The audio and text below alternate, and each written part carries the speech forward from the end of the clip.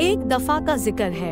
एक छोटा सा गाँव था, जहाँ एक बहादुर और हिम्मत वाला लड़का रहता था, राजू।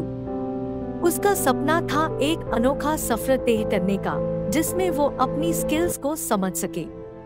उसका हमेशा से एक ख्वाब था, खोज करना, अनजान जगहों को एक्सप्लोर करना और दुनिया के अनोखे राज को सुलझाना।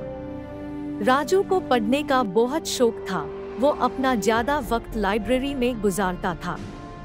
एक दिन एक पुरानी किताब मिलती है राजू को, जिसका टाइटल था रहस्यमय परछाया उसमें लिखा था कि इस किताब में छिपे हुए राज दुनिया के किसी कोने में मिलते हैं। राजू को यकीन हो जाता है कि ये किताब उसके सपने को पूरा करने का रास्ता है।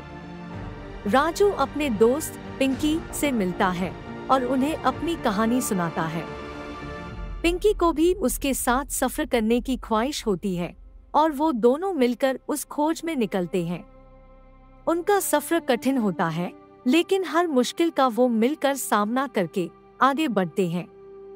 राजू और पिंकी एक पुराने जंगल में पहुँचते हैं, जहाँ उन्हें एक रहस्यमय गुफा दिखाई देती है।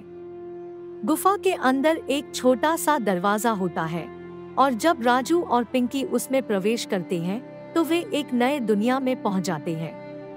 वाहन के लोगों ने उन्हें अपना स्वागत किया और उन्हें उनके रहस्यों के बारे में बताया। राजू और पिंकी के पास अब एक नई ज़िम्मेदारी थी उन रहस्यों को सुरक्षित रखना, किसी के हाथ ना आने देना।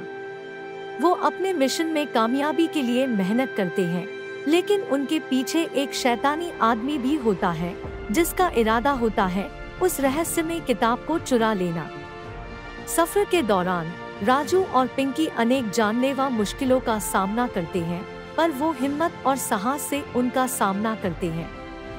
वे अपने दोस्ती और एकता का साथ देकर सब मुश्किलों को पार करते हैं। गाँव वाले राजू और पिंकी से मदद मांगते हैं। एक इंसानी जिस्म वाला भेड़िया रोज रात को गाँव में तबाही मचाता था। गाँव वाले बहुत परेशान रहते। राजू और पिंकी ने गाँव वालों की मदद का फैसला लिया।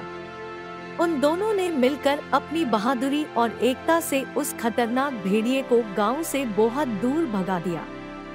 गाँव वाले राजू और पिंकी का शुक्रिया अदा करते ही हैं। आखिर में राजू और पिंकी उस शैतान व्यक्ति को पकड़ लेते हैं और उस रहस्यमय किताब को सुरक्षित रखने में कामयाब हो जाते हैं। वो दोनों अपनी कहानी पूरे गाँव के साथ शेयर करते हैं। और उनका नाम गाँव में अमर हो जाता है।